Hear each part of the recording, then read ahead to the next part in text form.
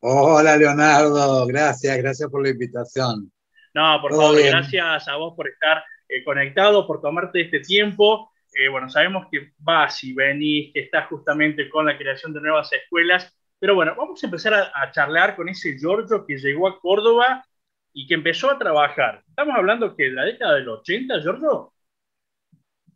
Eh, más o menos, sí, vine a Córdoba por la década del 80, después me fui a, a Europa, volví, ya me instalé de nuevo en Córdoba por la época del 91, 90, 91. En ese periodo iba y venía durante seis años, siete años, estuve yendo y viniendo a Italia ahí eh, dos meses, tres meses allá y acá y así, hasta que, bueno, un día dije, ya está, basta. Tengo que echar raíces en algún lado y las eché acá, en Córdoba. Exactamente. Bueno, elegiste nuestra Córdoba y empezaste a trabajar con esto del asesor de imagen eh, ¿Era común por aquel entonces estas cosas o no? No, no, para nada. Mira, yo ahora escucho todo lo que es eh, el asesor de imagen, el wedding planner, cosas que yo las hacía a partir del 95, ya las hacía tal vez con otro nombre, ¿no? No con ese nombre tan comercial que lo usaban ahora. Eh, hacía asesoramiento personalizado, el cambio de placar, eh, me iba a la casa de alguna personalidad o algún político y decía, bueno, esto sí, esto no, esto combina con esto, esto con aquello. Y empecé con eso, como con la escuela también, lo hacía en forma, eh, con la escuela de modelo, en forma muy, muy personalizada, con muy poquitas chicas o chicos, hasta que bueno, después empezó, empecé a surgir un poco más dentro de lo que era la moda, con los negocios, con, con los desfiles, todo, y bueno, y, el abanico de posibilidades que tenía, que hacía antes, tipo hobby que lo hacía, empezaron a hacer un poco el, el trabajo fuerte mío, que el mayor de todos fue como asesor de imagen, ex modelo, sí, pero bueno, después me dediqué a hacer escuela de modelo hace 28 años ya, casi 30, y bueno, y ya seguí en todo ese rubro que fue, fue mi rubro, mi mestier durante toda mi vida, todo lo que fue la moda, ¿no? ¿Fuiste modelo de Calvin Klein? Fui modelo de Calvin Klein seis años. ¿Cómo fue esa experiencia? ¿Qué, qué, marca? ¿Qué nombre, no? Eh, fue una experiencia que tocó de la nada, o sea, me, o sea, por una casualidad que, que, me vieron en un casting, me dijeron que fuera un casting de Calvin Klein, fui y bueno, en ese momento estaban eligiendo para una campaña que era de ropa interior, eh, o sea que no necesitaban los modelos muy Calvin Klein europeos que eran de un metro ochenta y pico, yo era un metro setenta y cuatro, pero bueno, era, la contextura física era más adaptada para la ropa interior que los modelos más altos. Bueno, quedé seleccionado y estuve, estuve con ellos como, como seis años como modelo exclusivo. Así empezó mi carrera. Giorgio, con toda esta cantidad de años que tenés de experiencia, ¿hay una definición? ¿Qué me dirías si yo te digo, definime moda? ¿Cuál es la definición que encontraste a lo largo de todo este tiempo? Te lo puedo decir, o sea, te lo digo tiene una forma muy, eh, como te diría, casera o vulgar, que yo siempre le digo a las mujeres que la moda es como un tren que viene y vos estás en el andén, ¿sí? Correte del andén para que no te lleve puesto. Seleccioná de la moda lo que realmente necesitas y te queda. El resto déjalo pasar. O sea, se los digo así, pero la moda, te, la moda es como que una historia. La moda hay que entenderla desde que nació la moda después de una Segunda Guerra Mundial, que ahí nace lo que es la moda, comienza la mujer a usar la moda, Coco Chanel fue una de las, de las que, se introduce en todo eso, pero bueno, todo eso es, la moda tiene una historia tan, tan hermosa, tan grande, que para, para entender la moda hoy, para poder hablar de moda hoy, para poder decir soy un buen asesor de imagen, o es entender cómo nace la moda, qué es la moda, es un, es un mercado mundial que se mueve, lo que más plata mueve en el mundo la moda, porque la gente no va a dejar de vestirse, ni de calzarse, ni de producirse, ni de querer ser cada día un poquito mejor o sentirse mejor con un amigo mismo o competir con alguien más, como lo hacen muchas personas. O sea, por más de que tengamos ropa, yo siempre tomo las mujeres porque son las que más consumen ropa y moda, que siempre digo que la mujer te dice siempre, ay, no tengo que ponerme, y vas y el placar se cae, no tengo calzado, y tienen 60 pares de calzado. Que ahí es cuando entra la parte mía que tengo que decirle, lo que no saben no es que no tengo que ponerme, no sé cómo combinar y ponerme lo que tengo porque se acostumbraron a usar ese pantalón con esa remera y después no lo usan más con otra remera o con otro pantalón. Entonces, ahí está la fusión. La moda ya no podemos inventar más nada en la moda, o sea, el cuerpo humano no cambió desde que es cuerpo humano, o sea, que no es que sale un tercer brazo y hay que hacer patrones nuevos en la moda. La moda es un ciclo de 10 años, es como llenar un, como llenar un tacho y cuando se llenó empezás a sacar de abajo, o sea, vuelve la moda de los 70 y los 80 ayornadas, ¿no? Pero es un reinventar la moda que ya está inventada, es una ayornarla. Y ahora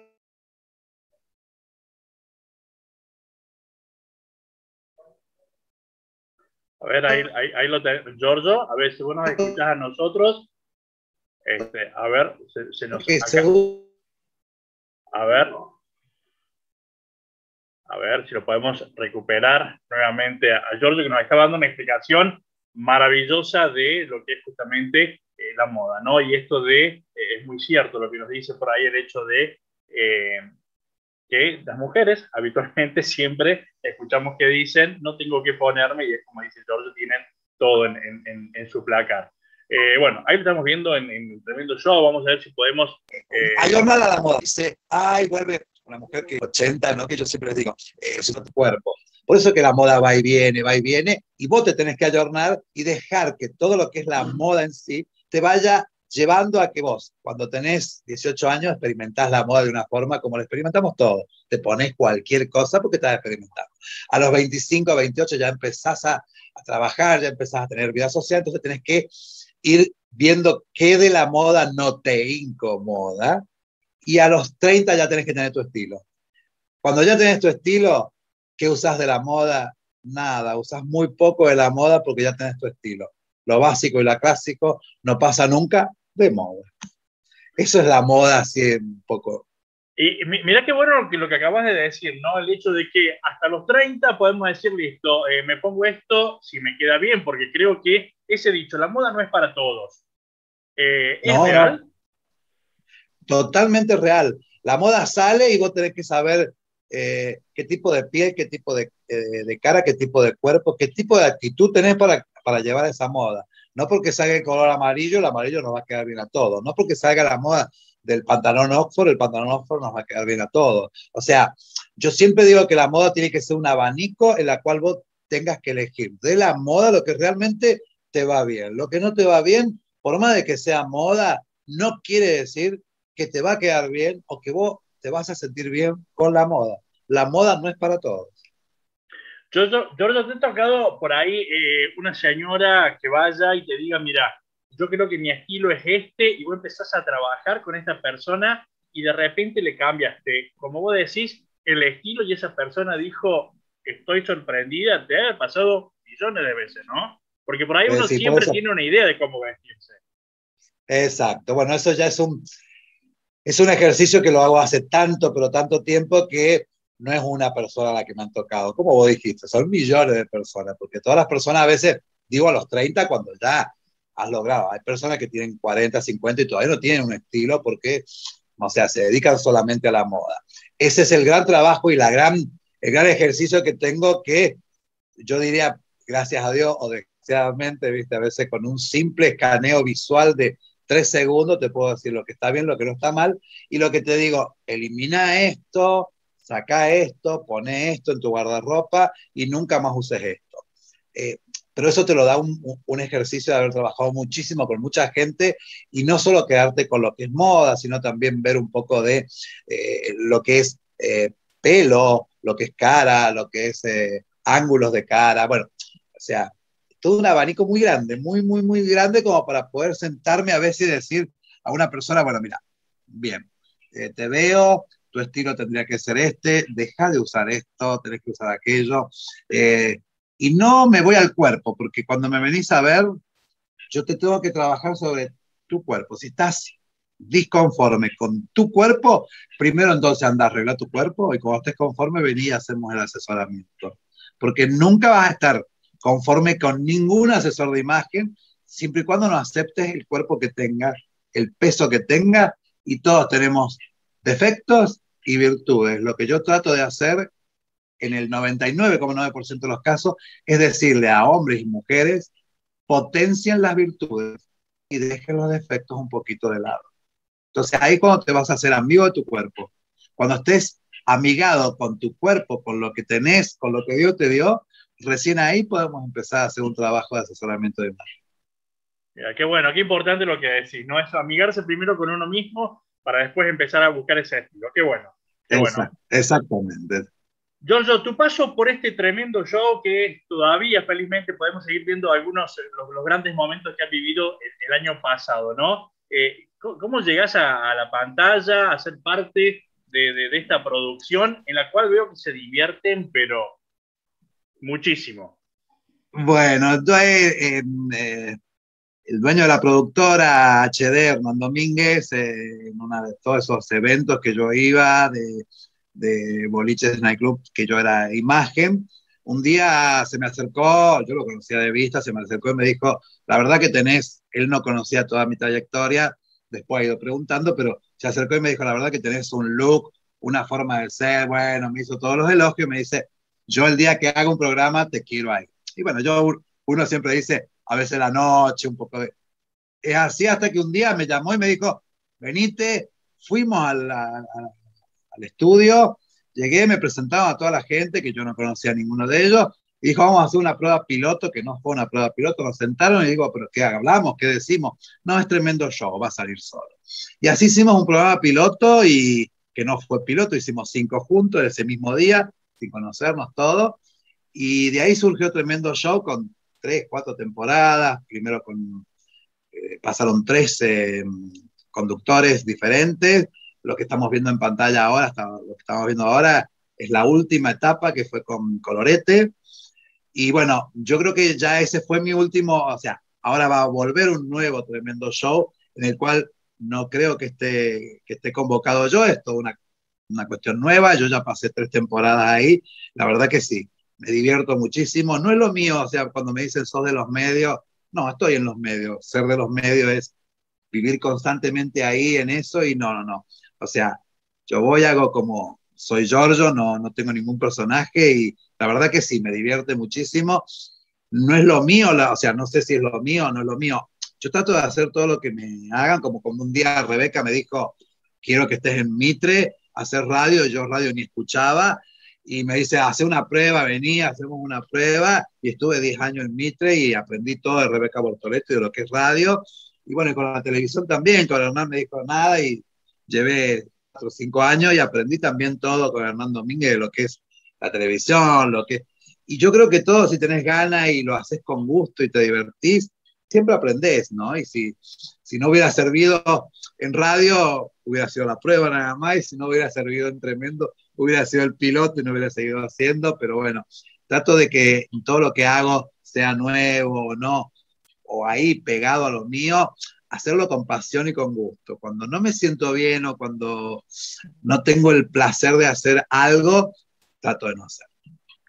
Ayer en, la producción, cuando hablábamos de que estaba la posibilidad de que hoy pudiésemos hacer esta entrevista, y decíamos, ¿se dieron cuenta? Es el único que aparece en la tele. Con un traje blanco le queda bien. Se pone uno negro, le queda bien. Se pone uno azul, le queda bien. Dice, usa los trajes sin media con unos zapatos divinos y le queda bien. Dice, ¿por qué nosotros no? Ahí está, amíguense primero con su cuerpo.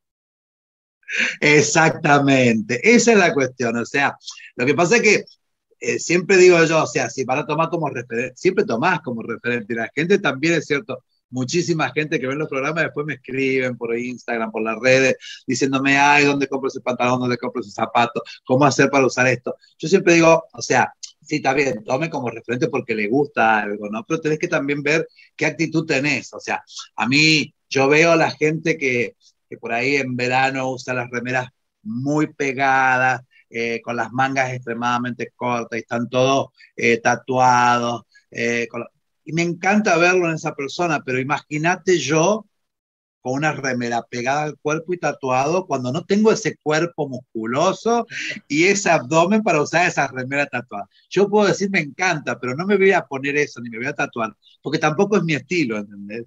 Entonces yo siempre digo, vean algo, les puede gustar, les puede encantar, pero vean si lo puedes trasladar a vos, a tu vida, ¿sí? O sea, el zapato, eh, usar lo que no es sin media, claro, se llama media bailarina o media fantasma, es una media prácticamente invisible, y que se ve el tobillo, el zapato eh, pantalón tobillero, que es siempre casi a 10, 12 centímetros arriba de lo que es el, el, zapato. Eso ya es una moda que ya es como que está pasando, inclusive hace cinco años. Y cuando yo volví de Europa y venía con ese look, que todos los años viajo, y empecé la televisión así, eran las cargadas, viste que todos te decían, eh, ponerle Coca-Cola a los zapatos para que bajen a tomar los pantalones, che, se te acortaron los pantalones, se te achicó la... O sea, todas, y yo me reí, les decía yo, algún día, y vos sabés que después me tocó que toda esa gente las encontré en los eventos, los boliches, todo, y empezaron con ese pantalones, ¿cómo? No era que, claro, lo que pasa es que la gente a veces, para incorporar una nueva moda,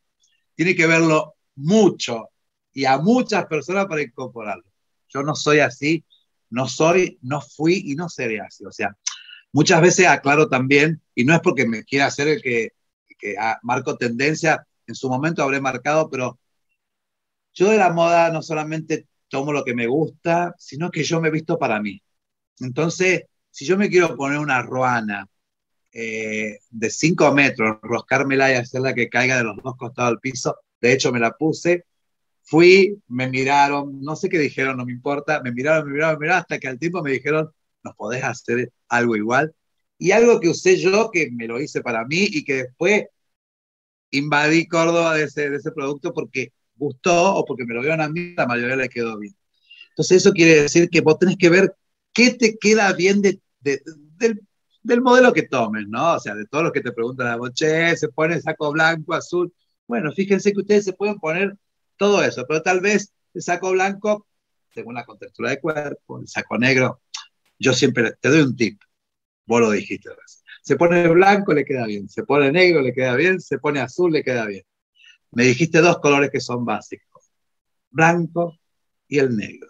Ante la duda, el azul ha entrado dentro de los colores ahora como básicos, como para poder combinarlos con los otros, pero cuando te vistas todo de negro o todo de blanco, o combine blanco y negro, y así tengas tu outfit de placar el 70% negro y el resto algo de color, siempre vas a estar bien vestido y nunca, nunca vas a errar en usar las cosas.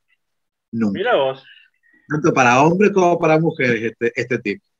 Y se los doy hacia, a, a, una, de una se los doy, para que, para que lo tengan.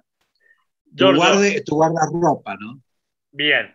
Las dos últimas cositas para, para, para no quitarte más tiempo. Una, eh, decías el hecho de que viajas, por ahí quienes te seguimos en las redes sociales, que después nos vas a decir por tu Instagram y, cómo te pueden, te pueden contactar y, seguirte. Eh, esto de la moda, ¿dónde viajas? Vemos muchos eh, de tus posteos hablando mucho en italiano. Eh, Italia, Roma, ¿es uno de tus lugares preferidos para la moda?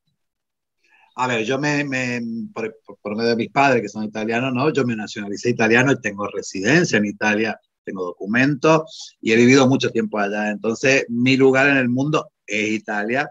Eh, legalmente yo yo soy italiano y no argentino, pero sí también soy argentino.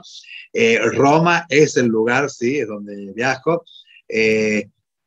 Italia es la cuna, es una de las cunas de moda. Dicen París, París es de la alta costura. Londres es, otro tipo de moda, pero es una cuna de moda. Pero digamos, la moda más refinada sale es todo de Italia. Italia es el producto más, más exquisito en lo que es moda y los grandes diseñadores de ahí surgen. Pero yo creo que la moda cuando cuando viajo también por ahí hago escapadas para otros lugares que no tienen nada que ver, pero cuando yo voy a Roma voy a hacer, eh, veo familiares, mis vacaciones, todo, y constantemente quien trabaja de esto, en el caso mío, yo hasta puedo ir, no sé, al supermercado y veo moda. Yo allá no es que me meto a los lugares de moda, yo eh, trato de ir, no sé si estoy en Dubái, caminar por el centro, ir a ver cómo vive la gente, a ver cómo usan la moda, porque lo que vemos en video lo vamos a ver en, las redes sociales también, lo podemos ver en una revista, tenemos que ver cómo vive la gente, la moda de cada lugar donde va. Y eso es lo que trato de hacer yo. El romano viste de una forma, el milanés viste de otra, el francés viste de otra, los lugares donde vayas. Entonces yo me voy metiendo a esos lugares, recorro, eh, me tomo un subte, bajo, veo, voy viendo la gente que hace, cómo, cómo vive, cómo transcurre la moda, que es lo que me interesa a mí. ¿no? Pero sí, Roma es mi lugar en el mundo, exactamente. La última pregunta, estás eh, comenzando ahora en julio con los nuevos cursos, tenés una nueva escuela, una nueva sucursal en las varillas, o sea que por ahí te debemos eh, cruzar aquí en la ruta, en Villa del Rosario, eh, cuando vas yendo para las varillas. Sí, te cuento, las varillas, número uno, las varillas, y también va a ser Villa María, es la primera franquicia, no es mía, sino una franquicia, pero voy, voy a dar clases y ahora casualmente para, septiembre otra franquicia para Chepes del nombre de la agencia. Y a Villa del Rosario sí he tenido que pasar lamentablemente porque Villa del Rosario es una, eh, es una ciudad que constantemente voy, tengo mi gran, mi gran, gran amiga ahí, Raquel Bruno, Giuliani, que hace muchísimo que no veo. Y que, bueno, sí, cada vez que viajo a las varillas viajo con, así muy, a, sea que tengo que pasar y, volver porque llego, doy clase, termino y me vuelvo para acá. Entonces, como que tengo, tengo pendiente ir a, la, Villa del Rosario, amo Villa del Rosario. Pronto los voy a visitar, te voy a avisar cuando esté allá para que charlemos un poco más. Y sí, hay dos franquicias, esa y la que se está ahora por abrir por Chepe. Espero que salgan algunas más. Mi proyecto es estar hasta julio acá en la Argentina y a partir de julio del año que viene, si todo va más o menos así, dejar las franquicias acá y ya radicarme mucho más tiempo en Roma. Pero bueno, eso está todo por, por verse todavía. Giorgio, muchísimas gracias por, por, este tiempo, gracias por, por esta charla, por este gustazo que nos estamos dando aquí la, la, gente de Villa del Rosario, hablando de moda, hablando de, de asesor de, de, de imagen y todo lo que podemos llegar a aprender. Gracias por tu tiempo. Gracias a ustedes y un saludo grandísimo y un beso enorme a toda la gente de Villa Rosario. ¿eh?